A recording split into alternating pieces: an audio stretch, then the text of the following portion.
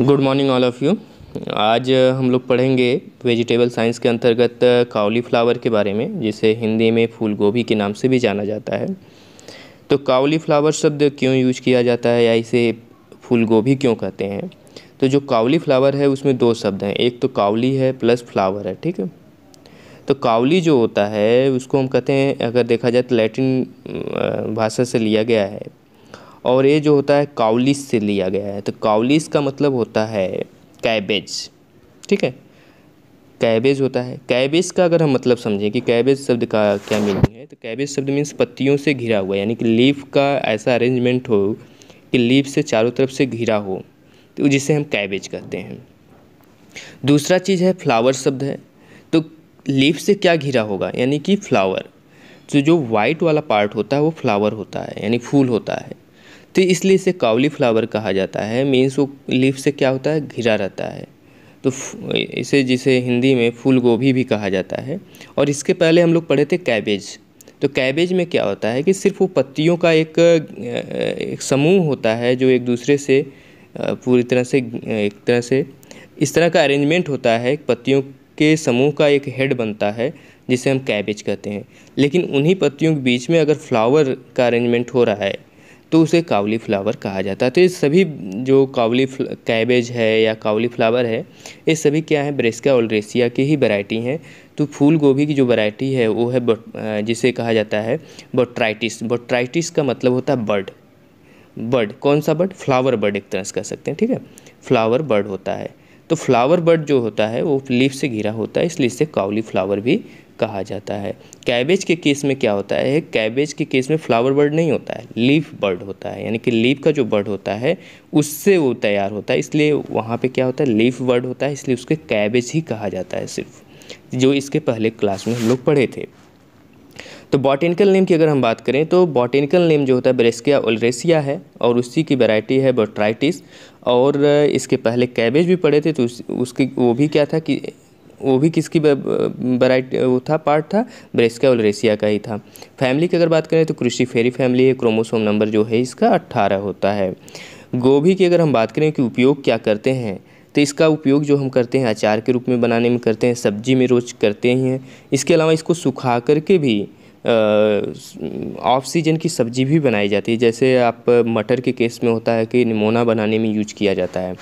कि आप मटर को सुखवा लेते हैं ड्राई कर लेते हैं वाटर कंटेंट उसका कम हो जाता है, उसके बाद ऑफ़ सीज़न में हम उससे सब्ज़ी बनाते हैं। तो इसी तरह से इसके केस में भी किया जाता है। अच्छा न्यूट्रिशनल वैल्यू होता है इसका। इसमें protein calcium vitamin A C जो है प्रचुर मात्रा में पाया जाता है। तो न्यूट्रिएंट वैल्यू अच्छा है इसका। ओरिजिन्स की अगर हम बात करें तो ओरिजिन जो होगा, एक सेकेंड ओरिजिन जो है इसका इटली है।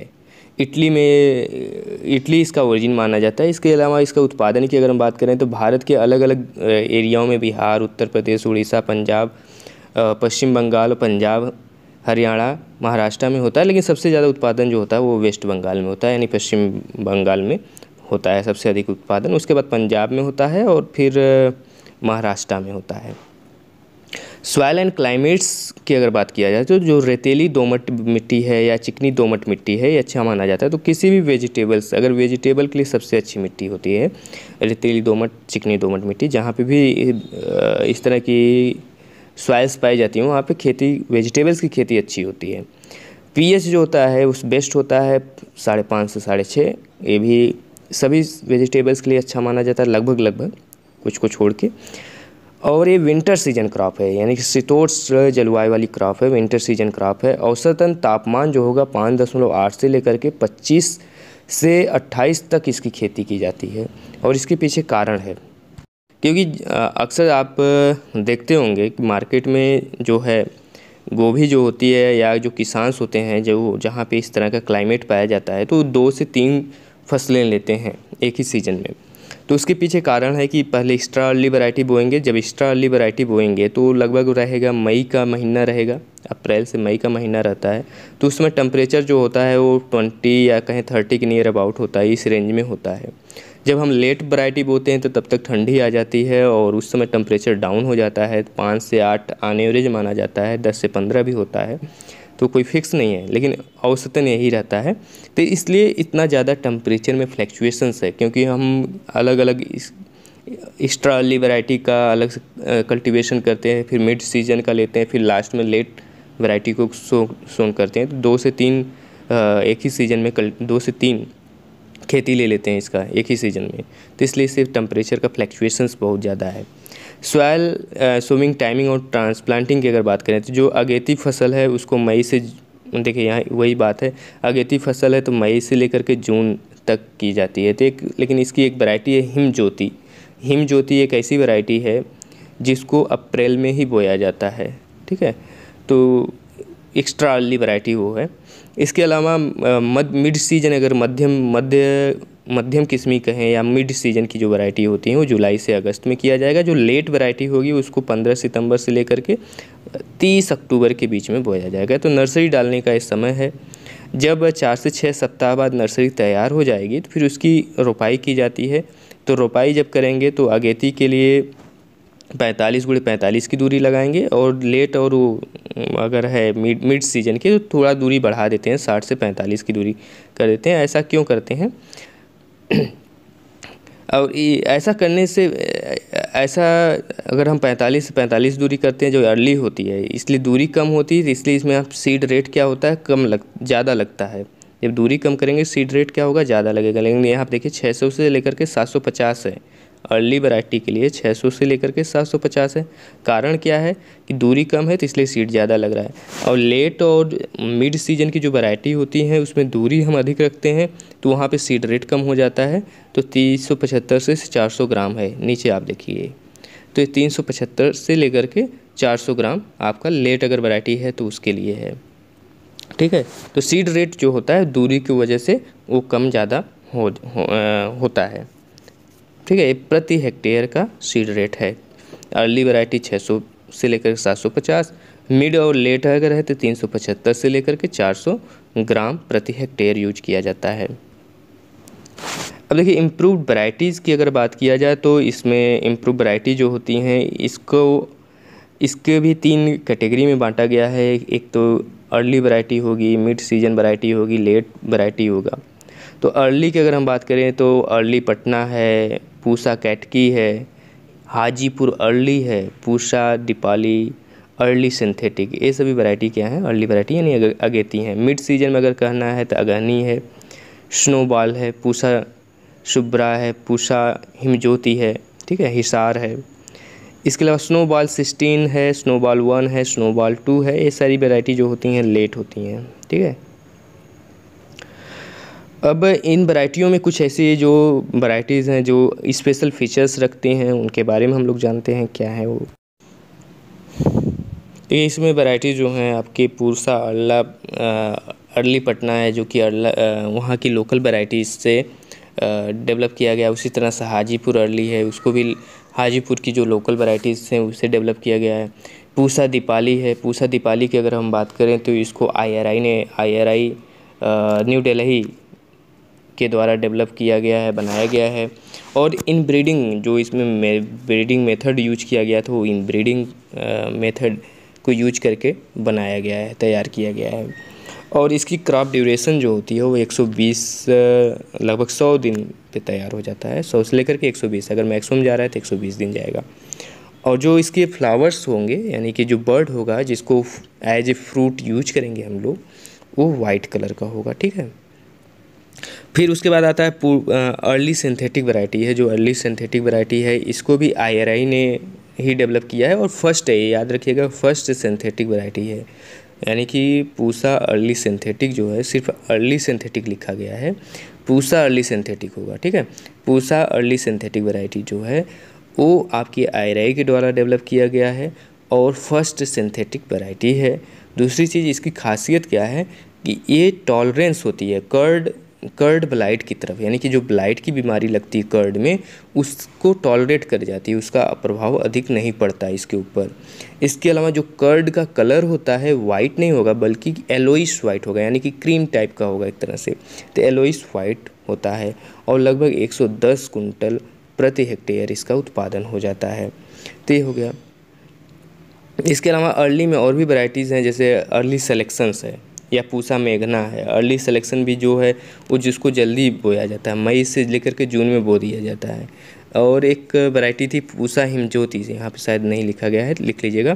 पूसा हिमजोत जो होता है उसको अप्रैल के महीने में अप्रैल के अप्रैल और मई के महीने में आ, उसको ग्रो कर दिया जाता है। पूसा हिमज्योति। इसके अलावा पूसा हिमजोत जो है उसका उत्पादन भी अच्छा है। एक सौ पचास से लेकर के एक सौ सत्तर कुंटल प्रति हेक्टेयर है उत्पादन उसका। पूसा हिमजोत की। ठीक है? इसके अलावा अतिशीघ्र एक वैरायटी है। अतिशीघ्र नाम से ही पता चल रहा है कि कितनी मतलब बहुत जल्दी तैयार होती है और ये हाइब्रिड वैरायटी है। ध्यान रखिएगा, अतिशीघ्र जो है हाइब्रिड वैरायटी है। लगभग आधा किलो का इसका एक फल होता है अतिशीघ्र का। इसके अलावा पूसा मेघना जो है, जो हाजीपुर की वैरायटी थी, यानी हाजीपुर में सिलेक्शन करके, हाजीपुर की जो लोकल वैरायटीज़ थी, हाजीपुर की लोकल वैरायटीज़ में सिलेक्शन करके इसको तैयार किया गया है। नाम है पूसा मेघना। ठीक है? पूसा मेघना M E G H A N. ठीक है? पूसा मेघना। तो हाजीपुर में, हाजीपुर की जो लोकल वैरायटी थी, उसमें रिकरेंट सिलेक्शन किया गया और रिकरेंट सिलेक्शन करके तैयार किया गया। 400 ग्राम तक पूसा मेघना जो है, इसका फ्रूट जो होता है, लगभग 400 ग्राम तक हो जाता है। और ठीक? ये हो गया जितनी भी वैराइटीज़ थी, मीन्स अर्ली वैरायटी थी, उनकी बात हो गई। अब आते हैं हम लोग मिड सीज़न की जो वैरायटी हैं, उस पर बात करते हैं। तो इसमें अगहनी है जियांट स्नोबॉल है, पूसा शुभ्रा है, पूसा हिमज्योति है। तो हिमज्योत को यहाँ पे लेट में लिखा गया है। हमें यहाँ तक लगता है कि वो अर्ली वैरायटी हिमज्योत। ठीक है? अर्ली है, अप्रैल से लेकर के जुलाई में अगर बुआई बुआई की जा, किया जा रहा है तो अर्ली वैरायटी है। तो यहाँ पे इसको सही कर लीजिएगा हिमजोत यहाँ को अर्ली में रखिएगा। इसके अलावा हिसार वन है, ये सारी वैरायटीज़ हैं। तो ये इन सभी वैरायटी हैं आपकी मिड सीज़न की थी, ठीक है? Giant snowball Pusa, Shubhra, Pusa, Himjyoti, Hisar one mid mid variety हैं मीन्स ये थोड़ा सा अधिक समय लेती हैं तैयार होने में। उसके बाद लेट वैरायटी की अगर बात करें स्नोबॉल सिक्सटीन है शटन स्नोबाल है। स्नोबाल का मतलब हो गया कि, जो बर्फ़ होता है, उस तरह से एकदम वाइट बिल्कुल वाइट कर्ड होगा इसका। तो इसलिए स्नोबॉल वन सिक्सटीन है वन भी होता है टू भी होता है। और इसमें को भी स्नोबॉल वन की अगर बात करें तो जो इसका वहाँ पे कैटरेन में जो वो है सेंटर है इसका Katrain T R A I N वहाँ से रीजनल सेंटर से डेवलप किया गया है। और इसके जो इंटर वराइटल क्रॉस है इंटर वराइटल क्रॉस का मतलब दो डिफरेंट वैरायटीज़ के क्रॉस से तैयार किया गया है। और इसका भी कर्ड जो होता है, वो वाइट होता है। इसी तरह से पूसा स्नोफॉल वन भी है, उसको भी वहीं से डेवलप किया गया है। तो ठीक है तो ये सारी वैरायटीज़ के बारे में हो गए, जो उसके फीचर्स हैं। मेन्योर और फर्टिलाइज़र की अगर बात की है तो F Y M F Y M के अगर फार्म यार्ड मेन्योर्स की बात करें तो पंद्रह से बीस कुंटल, पंद्रह से बीस टन प्रति हेक्टेयर चाहिए। नाइट्रोजन एक सौ बीस के जी प्रति हेक्टेयर चाहिए। फास्फोरस अस्सी किलोग्राम और पोटास जो है चालीस के जी प्रति हेक्टेयर चाहिए। इरिगेशन की अगर बात करें तो आफ्टर ट्रांसप्लांटिंग एक फ़र्स्ट इरिगेशन चाहिए, उसके बाद अर्ली क्रॉप है तो सात दिन की, यानी कि वन वीक पे अंतराल पे आप सिंचाई कर सकते हैं। मिड और लेट है तो पंद्रह से लेकर के पंद्रह दिन के इंटरवल पे, हर प्रत्येक पंद्रह दिन पे उसकी सिंचाई की आवश्यकता पड़ती है। हार्वेस्टिंग की जहाँ तक बात है कि अर्ली क्रॉप अगर आप ग्रो किए हैं तो अर्ली क्रॉप को आफ्टर ट्रांसप्लांटिंग साठ से सत्तर दिन पे तैयार हो जाती है। तो साठ से सत्तर दिन पे आप उसकी तोड़ाई, या हार्वेस्ट कर सकते हैं। मिड क्रॉप है तो नब्बे से एक सौ बीस दिन लगेगा। यानी कि ट्रांसप्लांटिंग के नब, के बाद नब्बे से एक सौ बीस दिन लगेगा। लेट अगर है तो एक सौ दस से एक सौ बारह दिन या इससे अधिक समय लग सकता है।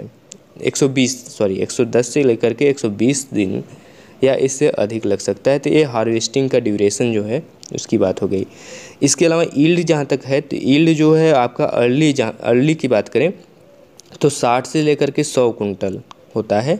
मिड लेट है तो उसका जो होगा, वो आपका ढाई सौ से लेकर के तीन सौ कुंटल प्रति हेक्टेयर होता है। इसके अलावा इंसेक्ट पेस्ट है यहाँ पे लिखा गया है लाइक कैबेज लाइक कैबेज का मीन से जो पिछला क्लास चला था, या पिछला वीडियो जो उपलब्ध कराया गया था आप लोग को, उसमें इसके बारे में बताया गया था। फिर भी एक बार इसको देख लेते हैं कि क्या मेजर इंसेक्ट होता है, क्या मेजर पेस्ट होता है और किसी, कुछ इसमें बीमारियाँ ऐसी हैं फ़िज़िकल डिसऑर्डर कुछ ऐसे होते हैं, जिसको एग्ज़ाम में काफ़ी अधिक पूछा जाता है। तो पहले देख लेते हैं मेजर पेस्ट कौन कौन सा लगता है। इसमें तो मेजर पेस्ट की अगर हम बात करें तो एफिड्स है, जिसके बारे में कई, हर क्रॉप में लगभग बताया गया है।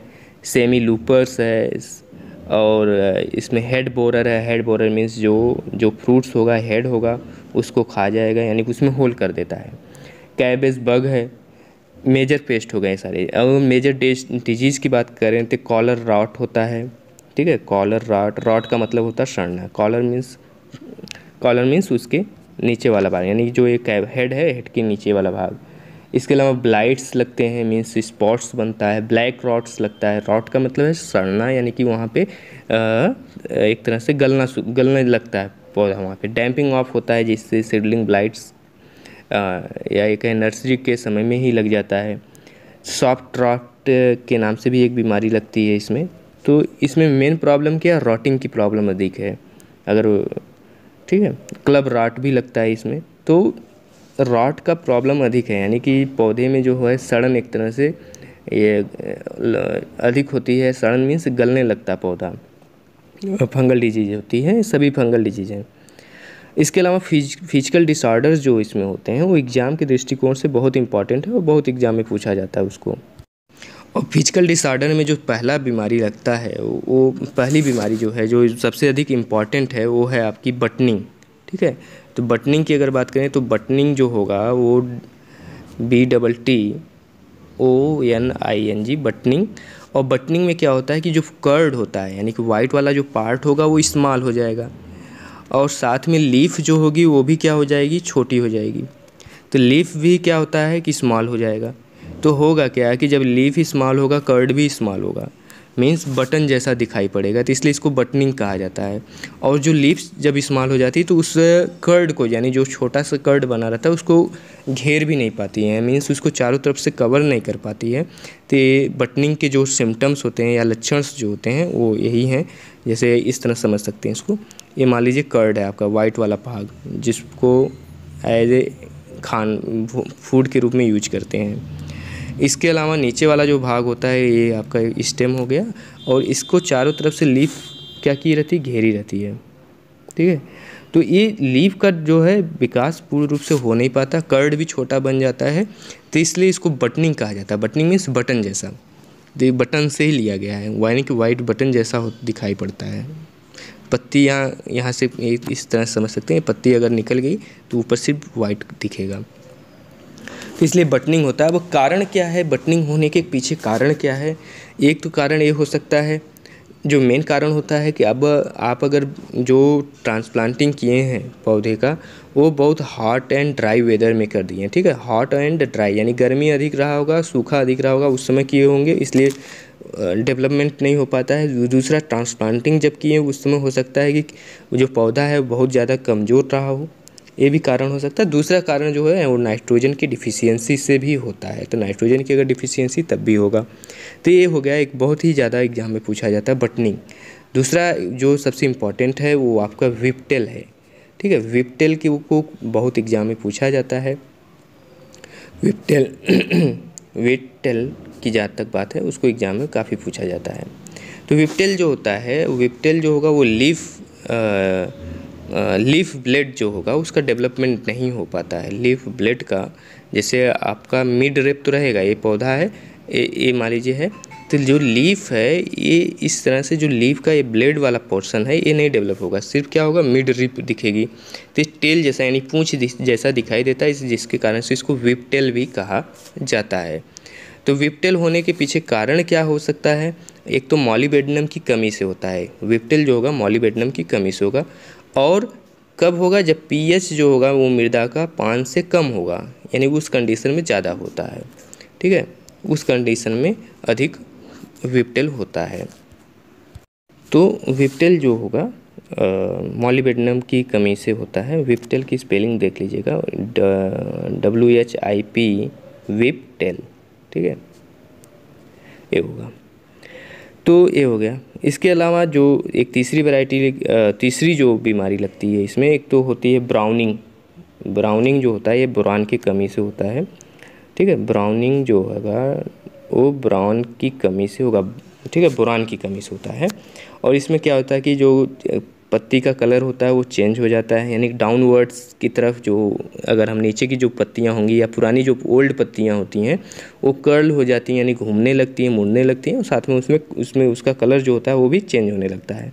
तो इसका अगर उपचार करना है तो आप बोराक्स का यूज़ कर सकते हैं या ऐसे फर्टिलाइज़र का यूज़ करिए जिसमें बुरान की मात्रा हो तो उसका यूज़ कर सकते हैं। अगर बोराक्स की बात करें तो 10 से 15 के जी प्रति हेक्टेयर के हिसाब से इसका अगर छिड़काव कर रहे हैं या अप्लाई कर रहे हैं तो इसके इसका उपचार किया जा सकता है।